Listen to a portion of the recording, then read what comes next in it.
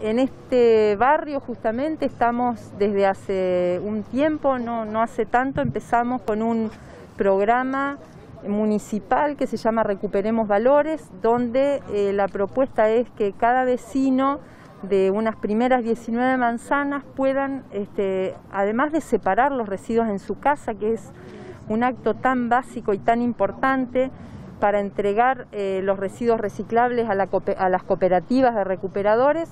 también hoy estamos eh, dando algunas herramientas para que aprendan a hacer abono o compost en su propia casa, ¿no? con los residuos que cada uno genera eh, en su domicilio, que son este, la mayoría son residuos orgánicos, eh, compostables, estamos hablando de los restos de cáscaras de frutas, verduras, hierba,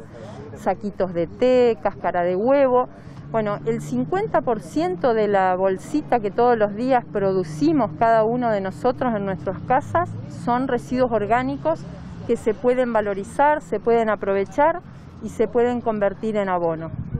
Abono que puede ser utilizado luego en qué tipo de, cosas.